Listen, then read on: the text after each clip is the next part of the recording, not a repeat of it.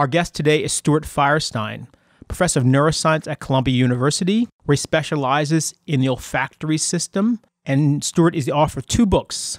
The first, Ignorance How It Drives Science. The second is Failure Why Science is So Successful. Welcome to Manifold, Stuart. Well, thanks, Corey. It's a pleasure to be here. And I'm Corey Washington. And I'm Steve Hsu. Stuart, I'd like to start off with uh, a quote uh, that you have in your book. Start one of the chapters with this quote from Isaac Asimov. Most exciting phrase to hear in science is not eureka, but hmm, that's funny. Yeah. What do you mean by that? Well, I think the um, the most interesting thing that you can find in science is something you can't understand. So, of course, we do experiments and we hope that we find some great result. And then I guess we would yell, Eureka, and that's fine. But really, what's often most interesting is when you do an experiment and it doesn't work, which is sort of the idea of failure, if you will, that failure is the way to get to the sort of deepest kind of unknown, if you will, the unknown unknown, you know, which unfortunately was made most recently popular by Donald Rumsfeld, but that's not who first said it or came up with it. It was first appears. I did a lot of research on this because I couldn't stand the idea of quoting Donald Rumsfeld about it. first comes up in a, in a in an epic poem by D.H. Lawrence, published in 1917, called "This Heaven and Earth." It's sort of about the transition between this plane and the next plane, or something like that. It's a bit overly romantic for me, but but he talks about his hand reaching out and touching the unknown, the real unknown, the unknown unknown, and that is the deepest kind of ignorance or mystery that we have. What we don't even know, we don't know. And the way into that, I think, is by failure. So when an experiment doesn't work out the way you think, then you're really, now you're really uh, sort of the game is on, if you will. You're, you're onto something more interesting than what you originally thought you even had. What I enjoyed about your books as a former philosopher is that it's history and philosophy of science written by scientists. And it comes off as a lot more realistic than the familiar text you get from philosophers, which tend to be idealized and high level. You get into the very kind of apparently mundane features of science, like writing grant proposals and weekly meetings. And I think it brings out a sense of how science is actually done. Uh, am I right in thinking that that's how you wanted to depart from the previous literature? Well, yes. I mean, at least partly because I'm not a philosopher or a historian. At least I'm not trained as one. I like to hang out with them. I like to read philosophy of science. I like to read history of science, but I don't consider myself really an expert in either of those places or trained as one. What I do have, however, is, you know, the daily experience of being a scientist. And I suppose enough of an interest in the philosophy and history behind it, enough of belief that that the philosophy and the history of science can add to the way we do science today and should be considered a part of it that i like to think there's this there's a little niche in there that i can fill.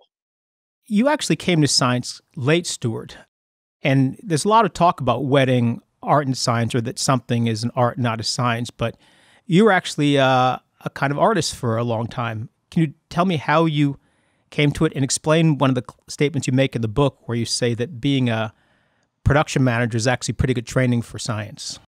Yes. So, so well, I worked in the theater for many years, um, almost 15 years, I guess, out of directly out of high school. Because in those days, not to overly date myself, but in those days, if you wanted to work in the professional theater, there was no real, there were no university courses, no university programs in professional theater training, as there are now, by the way.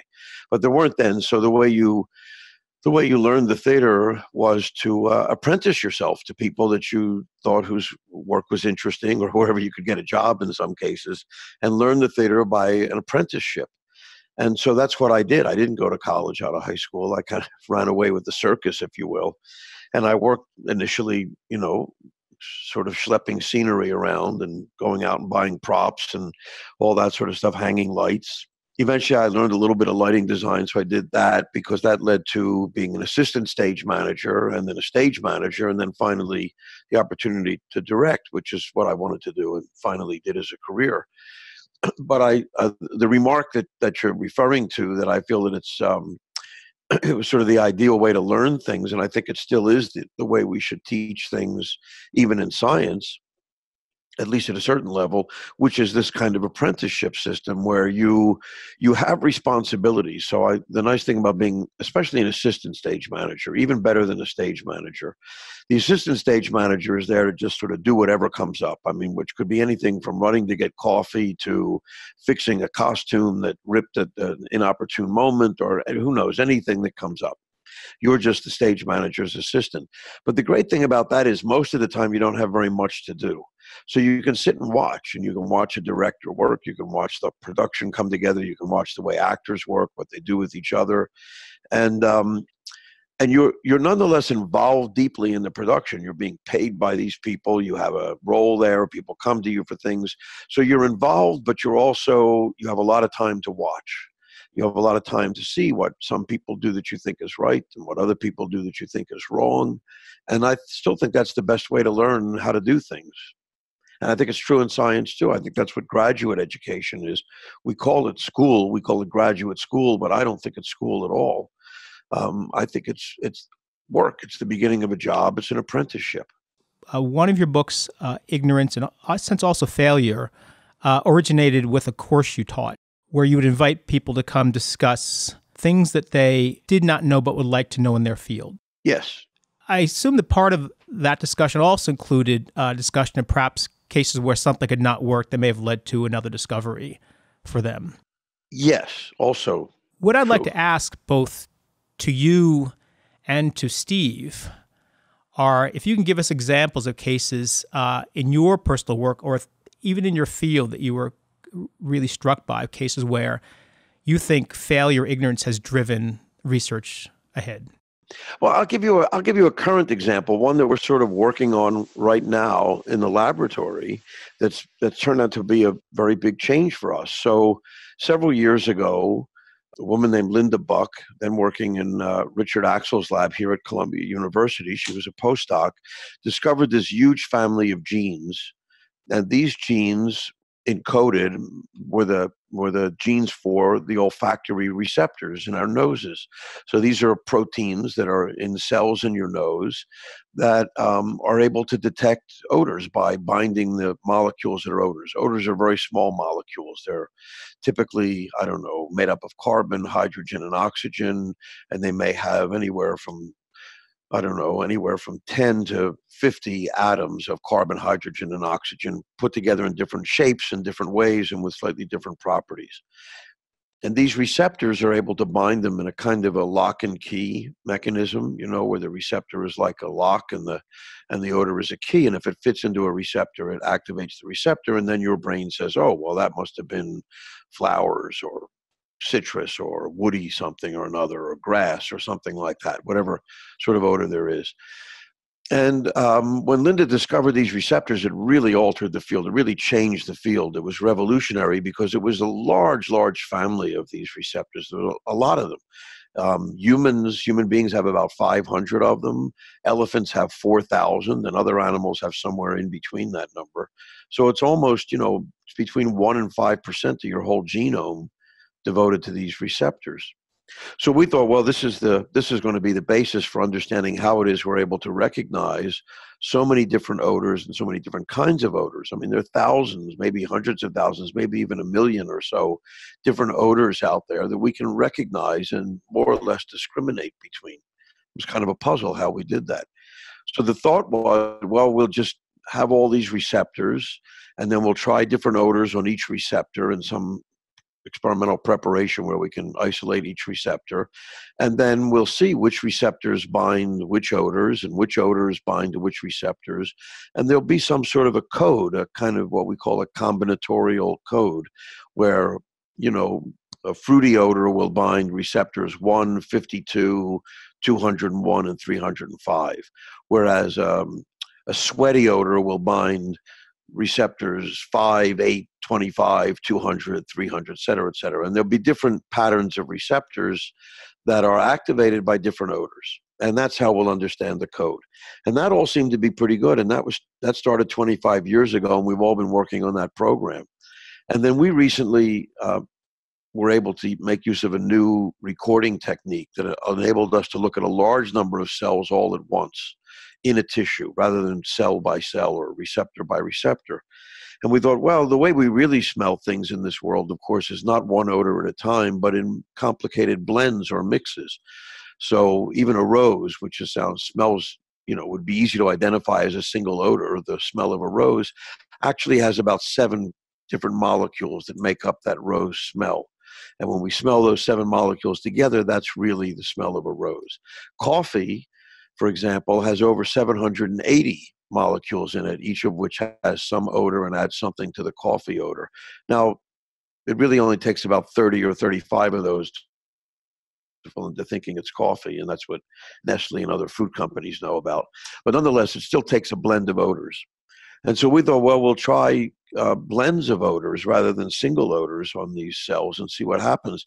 And what we learned was, to make this sort of simple, much to our surprise, rather than seeing different cells uh, activated by all these different odors in the blend, we saw that some cells were actually, their activity was suppressed by some of the odors in the blend so that apparently odor molecules can act not only as an activator of cells, but they can act to suppress the activity of cells that might respond to another odor in the mixture. So now it becomes much more complicated. And now we actually know less than we knew before, I would say. So we've managed to increase our ignorance significantly just in the last couple of years. And where does this lead to, Stuart? Once you make this discovery, what's the next grant proposal?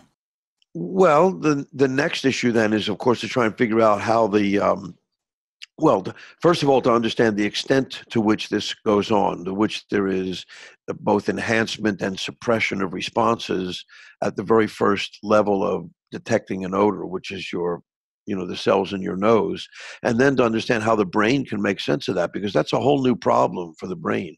So that's that's very different than what we thought it would be, which was modeled on color vision, right? So, color vision, you have three quote receptors, if you will, for different wavelengths of light. Three cells that are that are sensitive to three different wavelengths of light: red, blue, and green wavelengths. Um, that's what they look like anyway to us. And then you see all these different colors, shades, and hues, thousands of them, maybe even millions of those, by some combination of the activity of the red, the blue, and the green. And that's enough. Three is enough. And you just you know, mix and match them. Any particular wavelength of light will activate a little bit of red, a whole lot of green, and very little blue, or something like that. And uh, and that'll turn out to be yellow. I don't know exactly. I'm just making that up, but that's how we see different colors. So we thought odors would work the same way, but now they don't because, for example, in the case of vision, what we now see in, in the case what we now see about odors, if we applied that to vision, it would be as if a, a photon of red light not only activated a red receptor, a red uh, uh, photoreceptor in your eye, but it also suppressed a green receptor. And that doesn't happen. That never happens. The brain never gets that kind of information in the visual system. So now we have to really rethink how, how it is we would encode this other sort of stimulus, these chemical stimuli. It can't just be like the way vision has figured out how to do it. Or even audition, where you combine a whole lot of different pitches and frequencies and make a complicated sound out of it. So, Stuart, um, in the case of vision, if I just put another processing layer, then I behind the where the optical nerve, you know, where the sorry, where the activation count from the rods and cones feeds right. in, then I could get the effect you wanted. I, I could sort of have um, red signals decreasing, acting to decrease the strength, um, the interpreted strength coming out of the blue sensor or something like this. So, in your case, is it clear that it's actually the sensors that can subtract from each other, uh, can have negative effects on each other, or is it, it could it be a second layer that's doing this? So, so you're absolutely right. Not only could you do that in vision, but vision does do precisely that. There are all sorts of um, mechanisms of inhibition and suppression which enable your retina and your brain to sharpen up the image. And there are many cases, for example, there is something called, it's a little complicated, so I won't go into the details, but there is something called red green color opponency. And one of the results of that is if you think about it, you have never seen the color reddish green we actually can't see that color because we use similar circuitry for both red and green and they oppose each other at some level. And so there are certain little bits of color in the spectrum that we actually kind of can't see because of that. So, yes, that absolutely occurs in the visual system and it occurs in the auditory system and it occurs in every other sensory system we know. But it appears that this is not the case in olfaction because we're recording directly from the sensory the primary sensory neurons. It would be like recording directly from the rods and cones. In our preparation, the brain isn't even there. Got it. So it seems like you're detecting specifically some really chemical effect where, okay, I have these chemicals around and they actually inhibit uh, firing of uh, one of the particular types of sensors. Right. And, and in a way, that's not really, uh, shouldn't have been unexpected in a way, because we know that these sorts of receptors, the ones we use in our nose to detect odors, are very similar to other receptors we use elsewhere in our body, in particular in our brain, for example, to detect neurotransmitters like dopamine or serotonin or epinephrine, norepinephrine, et cetera, adrenaline, those sorts of things. And we know many drugs are directed at those receptors to block them the most famous of them, I guess, being called beta blockers. So, beta blockers are a drug, it's a chemical, a small molecule that sits in the receptor for uh, adrenaline, the so-called beta adrenergic receptor. That's why it's called a beta blocker. And it sits in that receptor and stops adrenaline from activating it, and therefore lowers your blood pressure. So, so we know that that sort of thing should have should be going on. I guess what's surprising to us is that it's so extensive. We see a, a, quite a lot of it. I mean, a, even in a three odor mix, we can see as much as twenty percent suppression and even 20% enhancement and and it will the tricky thing is, if you work this all the way through, is that we're only using, let's say, a three odor mixture, and we see that one of the odors in the mix uh, inhibits one of the other odors in the mix at some of its receptors. But if we had a different set of odors or just changed one of the odors in this mix of three, then we would see a whole different pattern of suppression and enhancement. And the question is how does the brain know what's in the mixture before it knows what's in the mixture? If you see what I mean.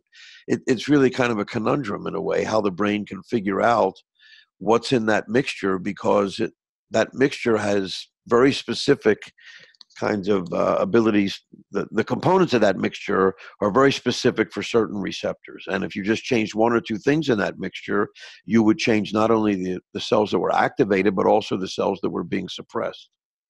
Is there a a paradox in principle here, or just that it's pretty complicated? So, in other words, if I have some uh, set of inputs and some nonlinear function connecting those inputs to some output that your brain can then process, uh, is there some reason to think that couldn't be how it's operating?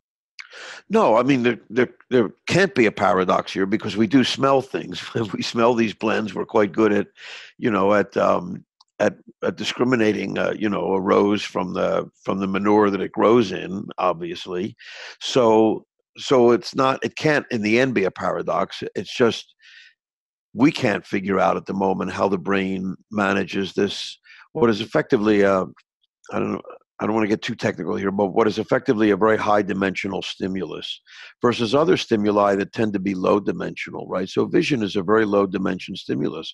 For example, color vision is only a one dimensional stimulus, wavelength. That's the only variable dimension for color vision is wavelength, whether it's red or blue or green or something in between that. Um, sound is the same thing, it's frequency, it's one dimensional. But with odors, or even even uh, uh, even the visual scene, when you look at a visual scene, it's only two dimensions, right? Because the retina, your retinal tissue is a flat tissue in the back of your eyeball, and so it takes three dimensional information in, but it reduces it to two dimensions.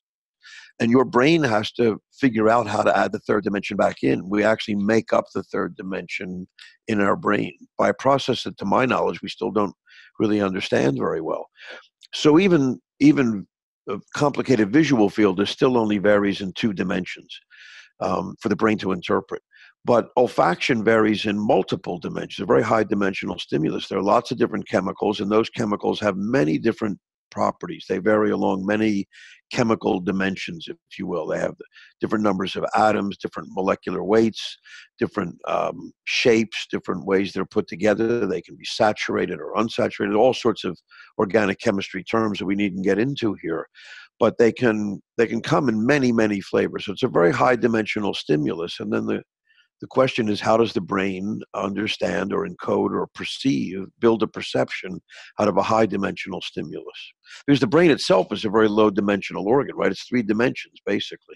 So, I mean, from the view from the viewpoint of uh, vision research and machine learning, a visual field is actually a very high dimensional uh, input because, for example, in principle, each pixel has an intensity uh, and, if you like, three different colors.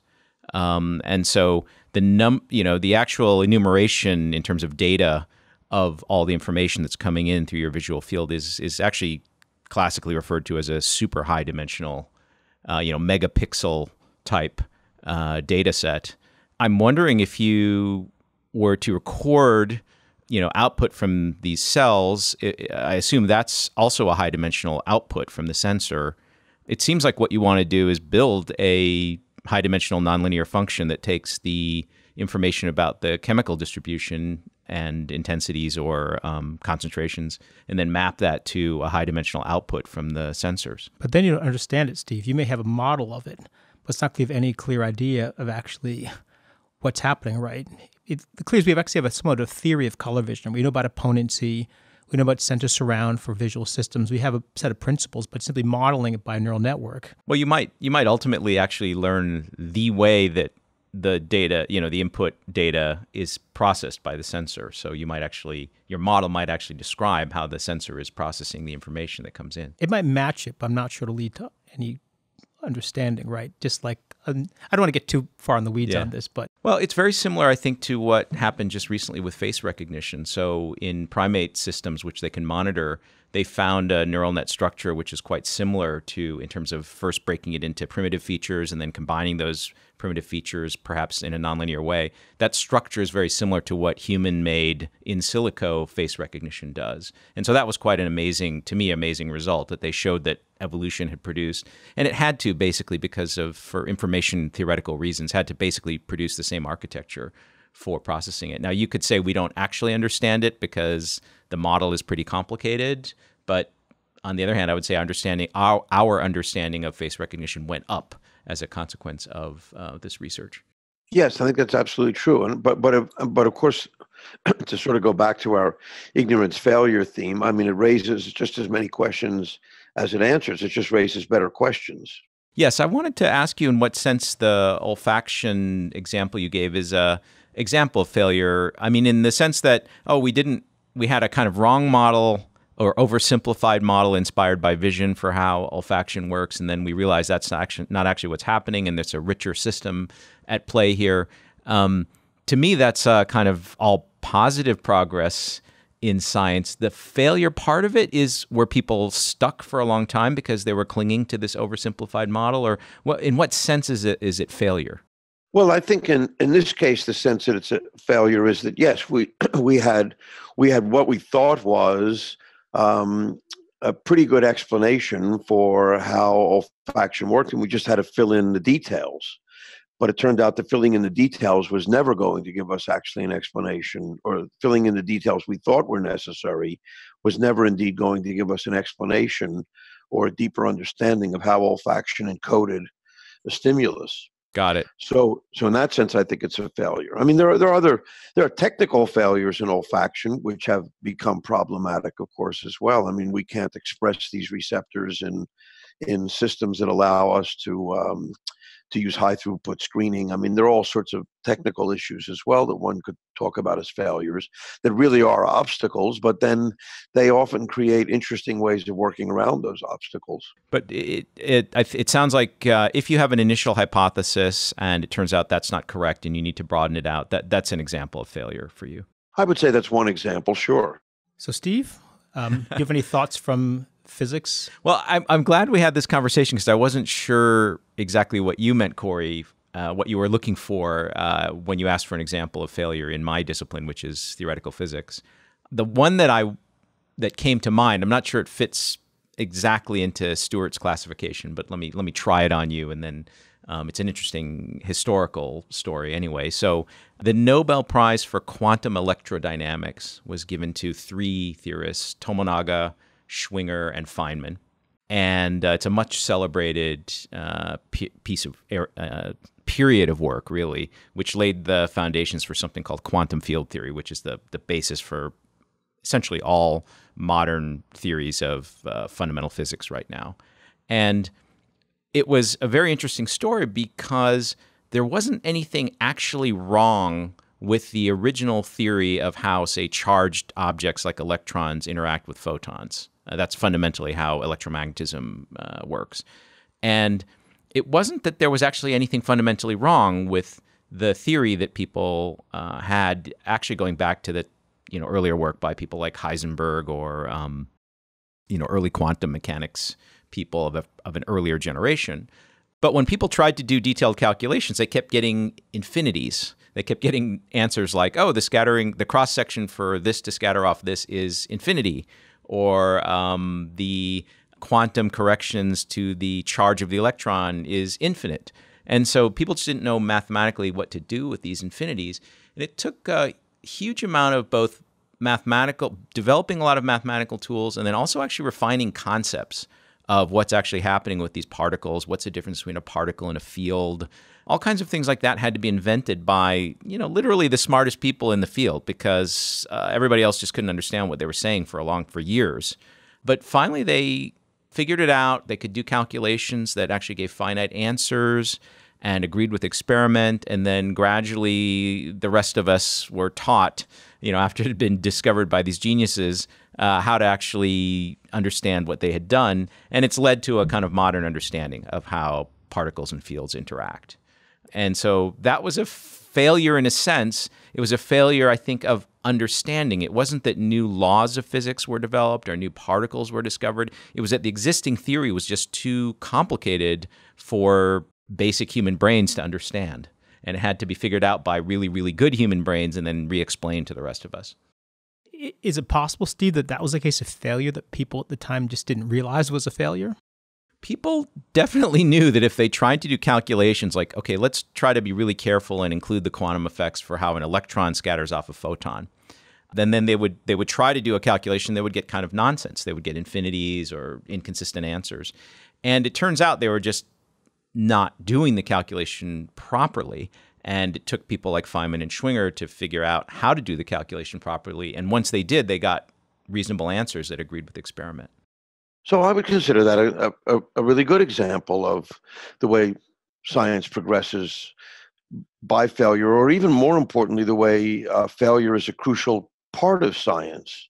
If you know if if it worked out every time if every experiment worked out or every theory just worked out right from the beginning every good idea we had or seemed to have worked out i, I don't think we'd have that much faith in the process it would be you know if we thought it was infallible you know what we think of infallible processes they're they're no they're no good they're just authoritarian usually I, I, I think that you know one of the important things to recognize is that that the failure part of it is integral to the process of science. It doesn't actually matter if later on, if retrospectively it led to some insight or this or that. It often does, and that's great. But um, but you could say, well, it would be better if we just had the insight right off the bat instead of wasting 10 years or 15 years doing stuff that didn't really matter until we had the insight of why things were failing but I don't think you can do that. I mean, I don't I don't think that's correct. That's not part of the process. I, I definitely want to agree with your view that failure is a necessary step because your existing theory has to kind of fail in order for you to then uh, develop the new and better theory. And one of the problems we have in particle physics right now is that the theories are too good. There are very there are essentially no experimental observations which disagree with the theoretical predictions. And so we're we keep building these bigger and bigger accelerators or looking at more and more exotic phenomena in the hopes of finding evidence for what we call new physics or physics beyond the standard model of particle physics. And so far we're in this situation where we don't we don't have such signals. We had hoped that this big $10 billion um, yeah. Large Hadron Collider would provide such signals, but so far they're absent. Yeah, so uh, so I agree. That's kind of a problem, right? I mean, you really don't want to come to to to an abrupt conclusion where suddenly everything seems right. So this is a discussion we Stuart we had with one of our previous guests, um, Sabine. How do you pronounce Sabine it? Hossenfelder. Oh, Sabine yeah, Hossenfelder. Yeah, yes, her book. Yeah, who who thinks that particle physics is experiencing a crisis presently because it's actually not getting the kind of um, negative signals that you might expect to get. Yeah, not enough failure in in the connection between theory and experiment. Not enough failure, and uh, that failure, I think you would agree, signals some interesting new stuff. And so, um, you know, she's uh, written a book uh, describing the current situation. Yeah. So I, I mean, I think she's. I, I guess I, I largely agree with her. As I understand, as I, re, I read the book quite some time ago, actually now, but I think she also sort of has a kind of attacks the idea that that physicists are too wedded to the idea of elegance and beauty and that their theories are only that that's a way of judging a theory and that they should forget that to some extent they should they should get themselves involved in some very ugly mathematics or ugly theories yeah in fact in fact her claim that that's true is based on a failure so people imagined based on aesthetic ideas new physical models which would enc- encompass the models that we currently have, but they were more beautiful. And then those led to some predictions for exciting new physics or phenomena that we would see at this current generation of colliders. And it's turned out we haven't seen those those predictions yeah. have not been confirmed. So these more quote, quote more beautiful models turn out not to describe nature. Um, and so she regards that, I regard that as a failure. There's a kind of sociological observation that the field was so taken by these aesthetic principles that, you know, tens of thousands of theoretical physics papers have been written basically by my generation and the previous one of theoretical physicists. And those papers turn out not to describe reality. Of course, on the other hand, theorists are very cheap compared to experiments. So uh, maybe it's okay. So why not try as many as you can? Yeah. Yeah. yes, it's not as difficult. You've got a similar example in your book, Stuart, actually, uh, about the current theory of uh, the cause of Alzheimer's disease. Well, yeah, this is a problem where we, um, it's, it's, a slightly different kind of a problem, but it's related, I suppose, where we, we too often go off chasing after some fad because of a single or a couple of results that look very promising and they all seem like oh this would be the perfect answer this this surely looks like how it ought to work you know but it's a it's a kind of it, it, it's how can I say this? It's a subtle. Uh, I'm sure most scientists would claim they don't think this way at all, but it is a very subtle, unfortunately, and dangerous. Um, uh, um, what's the best way to put this? It, it's a kind of a. Um, it's as if you believe in intelligent design when you do things like this. When you think that biological systems, why you see something that looks so reasonable as a way that a biological system would work, that you begin to accept it because of its reasonable lookingness. And that has this sort of whiff of teleology about it. You know, biology still operates in this kind of curious teleological way that physics and chemistry gave up much, much longer ago. Maybe and, and Stuart, maybe define yeah. teleology for our audience. Oh yeah, so this is the idea that that things are you can understand the way something works because it's, of its purpose. So, um, I mean, the famous example, I suppose, is a watch, right? If you find a watch in the woods or something like that, there's no doubt that it's different than a stone or a, a you know a rock of some sort or dirt because it appears to have a purpose, so therefore, it was probably designed by somebody or some intelligence for that purpose. And so that's what intelligent design works on to a large extent. But but the idea that things have a purpose, that things happen for a purpose, was an old, you know, Aristotle believed that stones moved because or things rolled downhill because that was their purpose. That's what they wanted to do, as it were. They were imbued with this sort of purpose-driven uh, motivations. But when when you when you criticize biologists for teleolo- use of teleology, uh, I think maybe you, they're not usually intelligent design adherents. So I think what, maybe what you mean is they're assuming evolution designed it for a particular purpose. Well, yes. Yeah, so so uh, of course it's it's a little it's sort of subtle, and I'm not really acute. Uh, uh, right? No self-respecting biologist would say he believed in an intelligent design, at least today. So that's true, but but it you know there's a little bit of it, it comes closer than than you like because evolution doesn't have any design and purpose either in, in mind either. I mean, evolution doesn't have any purpose in mind. That's a misunderstanding that's all too common about evolution. That it's, you know, that it optimizes things. That it's always looking for an optimal solution. It's not looking for anything. It's a random, you know, it's it's a, it's a random process with a feedback loop. But uh, in in the case of Alzheimer's, and I, I don't know actually what mechanism. Maybe Corey will explain. Um, but is the idea that oh they have this neat uh, hypothesis and it's sort of justified by some kind of evolutionary story that says oh yeah n- nature ended up with this mechanism and it's very neat and that's how we can explain Alzheimer's. Well, that that happen, that's not the case with Alzheimer's, but that is the case with many things. I mean, this is why I think we should all be suspicious of you know sort of evolutionary psychology or whatever they call it. These sort of post hoc explanations of why humans are you know like to have wars or whatever it is human sociology is supposed to be doing because we evolved to do this. We didn't evolve to do anything, in my opinion. We just evolved. All sorts of things come along with that, and you know how how we I mean, you, human beings are definitely the product of evolution, but they're not only the product of evolution. So you can't just say all of our psychology is due to evolution. In in the case of the Alzheimer's business, it was a finding that was sort of elegant. I mean, there's this this substance called beta amyloid, which is found in normal brains, but was also found to be highly prevalent in Alzheimer's brains, and in particular in these so-called plaques that an Alzheimer's brain has all over it, which are thought to be the cause of Alzheimer. Alzheimer's. Of course, nobody even knows whether these plaques are actually the cause of Alzheimer's. It's just that that's what it looks like because when you open up um, somebody's brain post mortem who had Alzheimer's, you see that their brain looks like a mess because it's full of these tangles and plaques. And then they saw that these tangles and plaques were made of this substance called beta amyloid. And so everybody thought, well, that must be the cause of Alzheimer's. If we could just figure out how to how to downregulate the expression of beta amyloid or break it all up somehow or another, we'd have a cure. But that turns out not to be the case at all. Beta amyloid seems to be an emergent phenomenon of Alzheimer's, but not a causative phenomenon. So maybe this is a case of jumping too fast from correlation to causation? Yes, which I think happens a lot. And the way we jump from correlation to causation is that we put a purpose in there. And, and I think it's it driven by this. like it should be right. It's also driven by the fact you seem to have this very natural explanation, which seems to have driven a lot of theoretical physics. It's a beautiful, simple theory, and you can do research on it, and you can publish lots of papers on it. So it's kind of institutional support.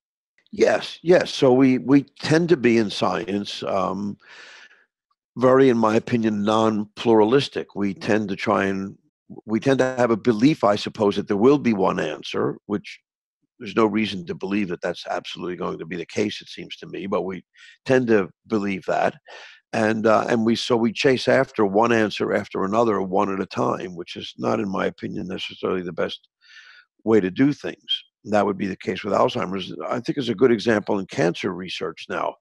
You know, immunotherapy for cancer has been around since the 19 late 1940s. Was a current idea in cancer treatment. And it was largely dismissed for, well, there are all sorts of reasons. There were one or two trials that didn't go well and people died from them, but people die from chemotherapy and radiation all the time as well.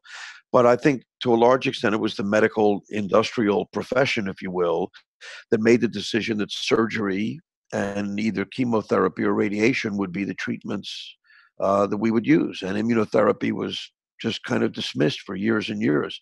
And now we're finding that immunotherapy is a very powerful way to treat ca- many cancers and holds out a great deal of hope for treating cancers that were otherwise incredibly resistant to treatment. But for 40 or 50 years, we've paid no attention to it. We just let it simmer away on some back burner somewhere. And, uh, and, and everybody traipsed after the same thing. There's an old Chinese saying that says one dog barks and a hundred dogs bark at that dog and then somebody says, "Wow, what's going on?" Well, you know, nothing's going on. We're just barking at each other. It sounds like in that case, you think they didn't take the proper, they didn't get the proper lesson from the failure of those trials. They simply walked away. Yes, I think that's true. I think we too often walk away from failures. Now, you know, it, it's always a little different when you're talking about medicine. That's true because you know lives are at stake. It's a little different than than uh, theoretical neuroscience or theoretical physics or even experimental physics or neuroscience, where you know I mean, it'd be nice if things worked out, but but it's rarely going to kill somebody or save somebody. Whereas in medicine, you do have to make those sorts of decisions. But that doesn't mean that um, that doesn't mean that we're making them the right way. In point of fact, we we weren't helping people by, you know, lopping tissues out of them and and and uh, uh, subjecting them to significant amounts of radiation or toxic chemicals when immunotherapy could have been developed. I, I'm sure this is somewhat more controversial in most people's minds, but I feel the same way about nuclear energy and climate change. I think if we hadn't been scared off of nuclear energy, inappropriately so, in the 1970s, um, then we would have developed nuclear energy in a much higher and better and more sophisticated technology that would be helping to solve the problem of climate change now. But instead, we're stuck with a form of nuclear energy that is dangerous because it uses 1960s or 70s technology. Yeah, I, I, agree with you on the nuclear energy observation. I mean, we there's a weird path dependence here where people got very scared of it, perhaps irrationally, and it is it is a very it is potentially a very good contributor to solving the climate change problem, but we're not really open to considering it now. No, I blame it all on Jane Fonda, to tell you the truth. well, you know, she made that movie called The China Syndrome. Yeah. There was also Chernobyl.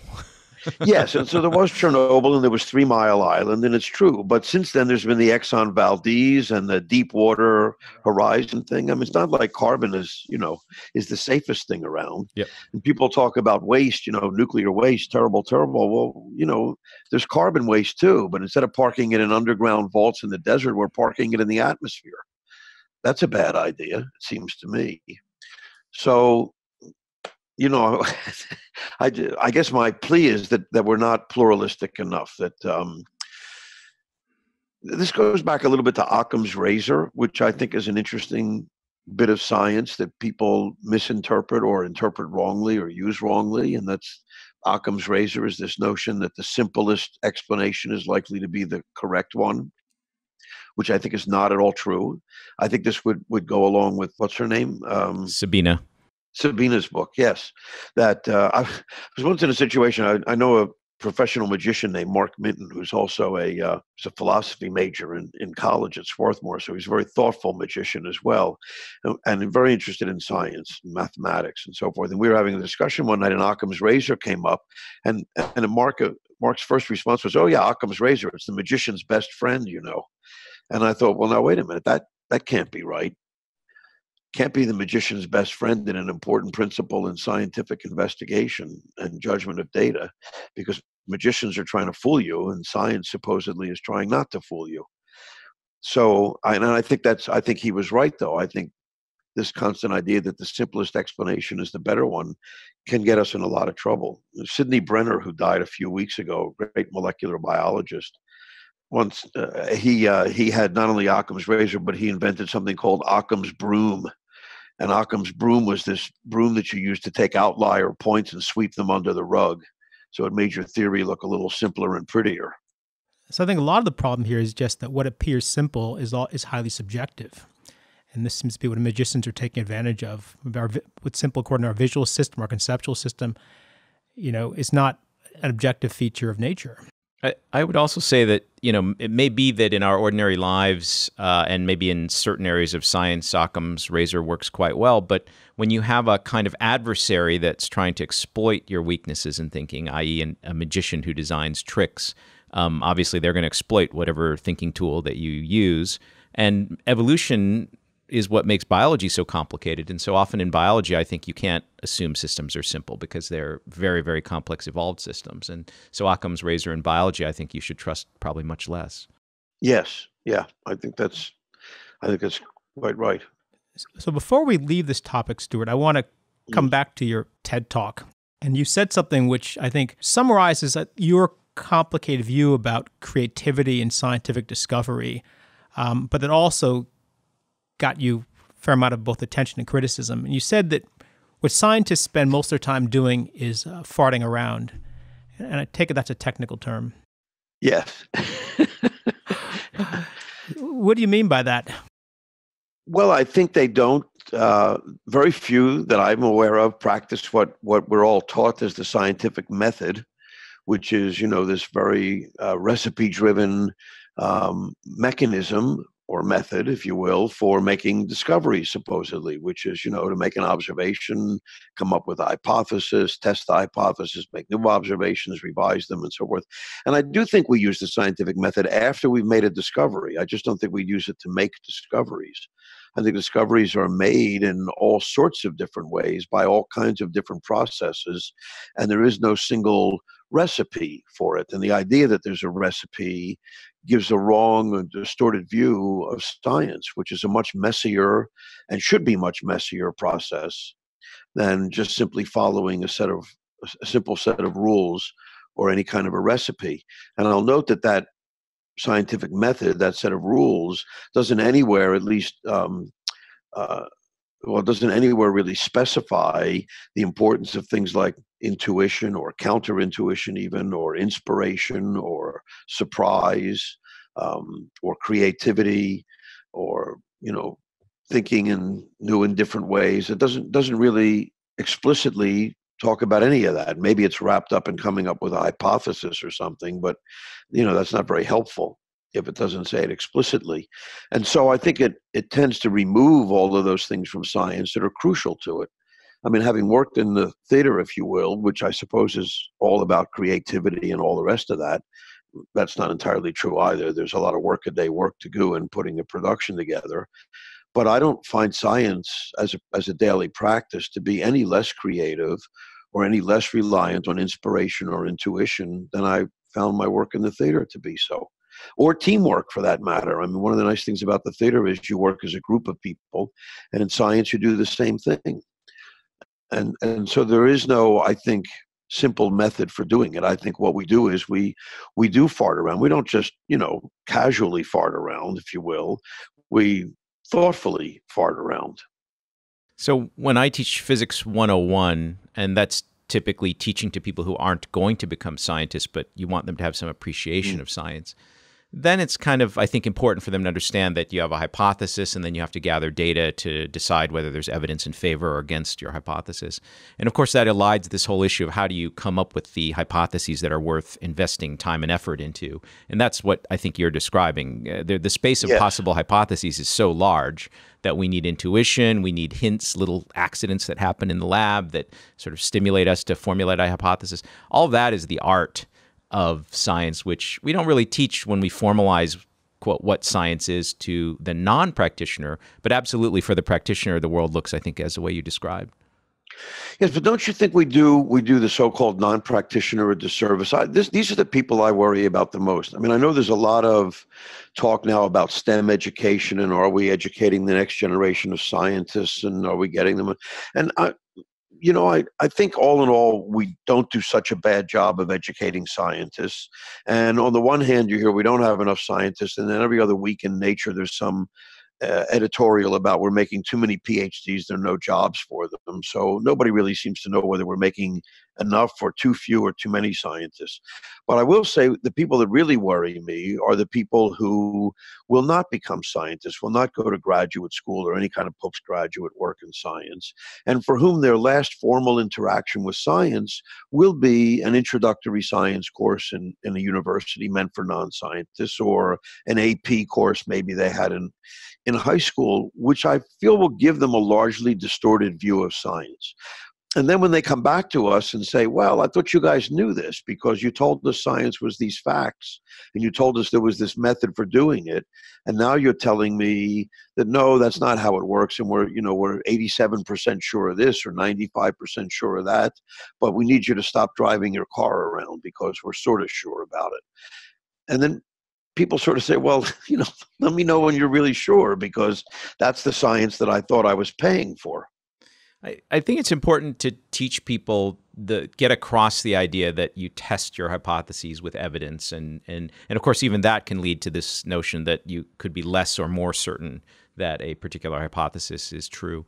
Um, but I think the other thing that uh, I, I agree with you that we should enrich the education of students, even if they're not going to become practitioners, by kind of going deeply into at least sort of one scientific discovery and showing what did the actual scientists do, how many years were they quote farting around or lost in the woods or wrong, and then how did yeah. how did it actually happen, and how credit really is assigned to one guy, but it's really ten different people, including some women yep. who deserve. You know, I think all the, all those things um, should be done, but but there is a sort of separate thing of what is just the purely logical sense of we formulate hypotheses and then we we try to gather evidence for or against them versus like what is the human experience like?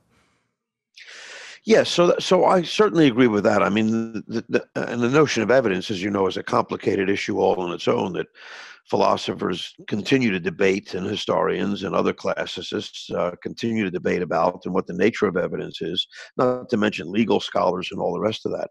So and today especially you know we're we're sort of living in a world where evidence that we understand or we think we understand what evidence is suddenly there's you know other people who feel that evidence is quite different than that who consider conspiracy what we would consider a conspiracy theory perfectly good evidence for for beliefs um, I mean, a lot of people, I think, subscribe to the idea or would subscribe to the idea that common sense is a good source of evidence.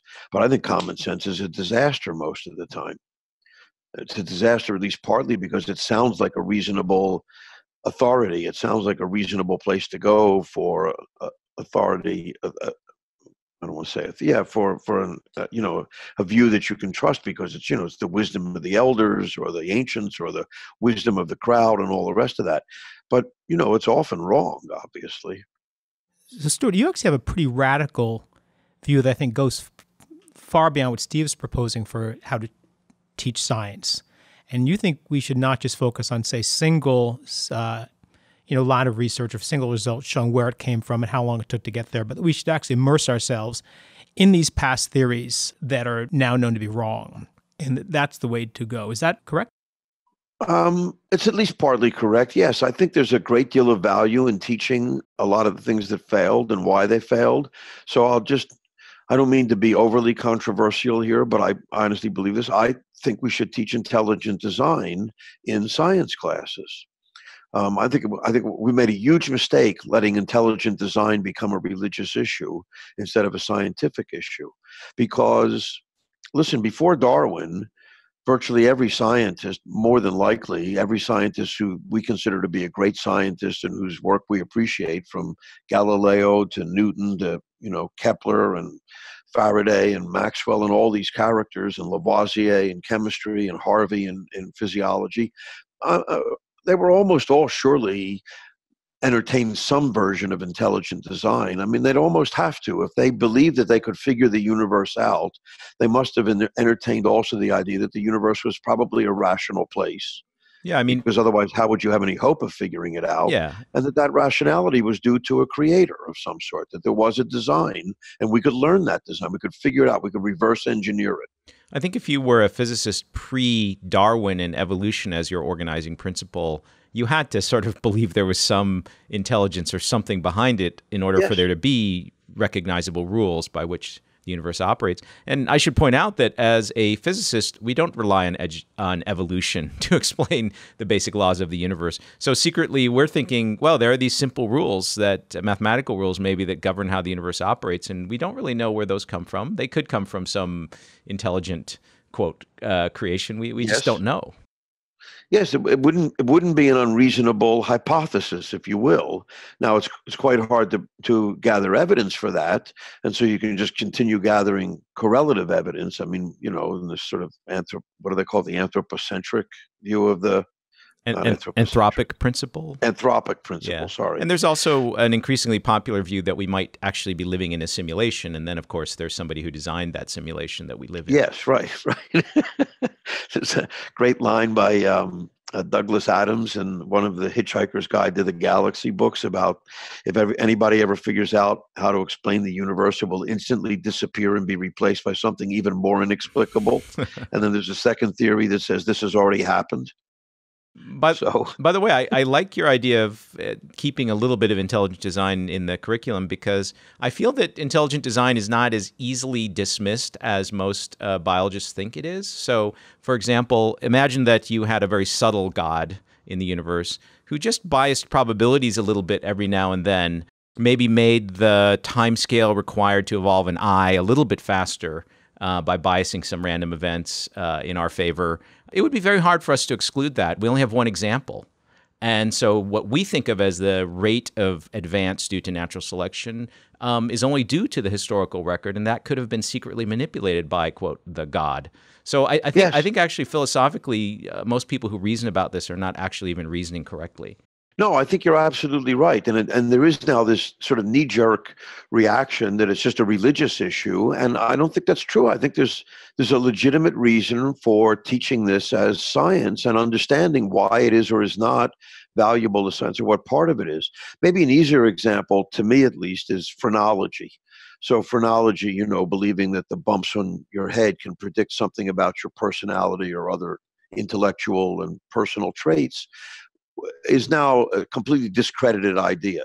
But it was practiced for some 40 or 50 years as a legitimate science to the mid 1800s. There were journals, there were people trained in it, there were schools of it, and, and it was considered a legit, there were experiments done, and it was considered quite a legitimate science. Now we know that there's no relationship whatsoever between bumps on your head and whether or not you are creative or criminal or something like that. But but importantly, two very foundational principles of modern neuroscience were developed by virtue of phrenology. So, phrenology was the first time that people believed and made a case for the fact that all personality traits and intellectual traits resided in the brain. That love did not come from the heart, that anger was not in the spleen, that you don't have gut decisions about fear and things like that. That everything, in fact, is in the brain. And the second idea is that things are localized in the brain. Now, that's what you know modern fMRI is largely based on, and we're now recognizing that localization may not be the be all and end all of the brain, but that there certainly are certain things that are localized in parts of the brain. And we know that from lesion studies and helped us understand strokes and all of these other sorts of neurological things. So here's phrenology, a science that's completely discredited and a failure, and yet it really is the source of two foundational principles in modern neuroscience. Well, I think that's an important process for people to understand. Yeah, at least at least the bumps. A whole bunch of neuroscience that they're just going to forget anyway. At least the bumps they were focused on were bumps on the head. Is that, yes. That the right way of saying yes. there were other people doing other bumps. So we we have a, I think a, a choice to make at this stage. Stuart, this has been a great conversation. There's actually a lot more we'd like to talk to you about. So my thought is maybe we cut our discussion sh- at this point right now, and hope you'll come back to talk more about how science education should go and the idea that there should be a narrative behind uh, what's taught in in, uh, in, the classroom, and also a lot of interesting comments you have about uh, the NIH killing creativity. Uh, yes, I, have changed my opinion about that a little bit, by the way, but I still think it's true. I mean, largely, but yeah, but that would be an interesting conversation to have. I, I certainly agree, and probably far more than we have time for now. All right, with uh, with Steve's agreement.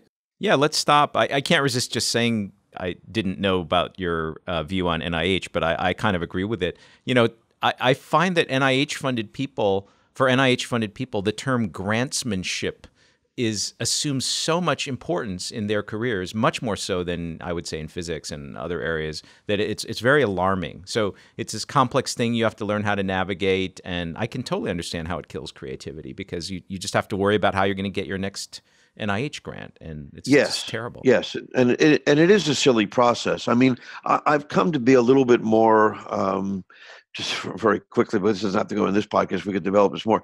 I've come to be a little bit more understanding about it because I think one of the things you you do have to do sometimes is take the perspective of other people. So the problem is that the people who run NIH, the administrators who run NIH, we think that they should be serving us. They we think that the purpose of you know NIH is to fund research and to promote research, and so we think the administration should be serving us. But really, the administrators of NIH think their job is to get Congress to put more money into this, and that is their job. I agree, and they think the best way to do that whether it's right or wrong, um, they think the best way to do that is to talk to Congress like they're idiots. that may be the right way to do it. well, maybe they're you. right. I don't know. And say, you know, all of our research is hypothesis driven. We don't just let these guys play around. We don't just let these guys fart around. Everybody uses the scientific method. It's really strong and it's intense and all that. And that's how they get money. Because if they went to Congress and said, look, we need some more money to let our scientists fart around, because when they fart around, good things happen you know, it's not it's not like they're going to get funding. I, I think NIH could try the other tack because, for example, now there are famous things like 20% time at Google where they, they let the engineers spend 20% of their time on some completely offbeat creative project, and it's turned out to be extremely valuable. So you might yes. be able to convince congressmen that farting around is something to be supported. So, right. So, but like any organization, you know, it, there's a great deal of inertia in the administration, but you're absolutely right. Things could change and things could be made better and it would make the whole grant getting process more sensible. You actually speak to the head of research at Google and uh, as part of one of your books, uh, and trying yeah. to reform the publication process. Let's leave that as a teaser. Okay. And uh, let's pick this up uh, hopefully soon in our next podcast with you, Stuart. Great.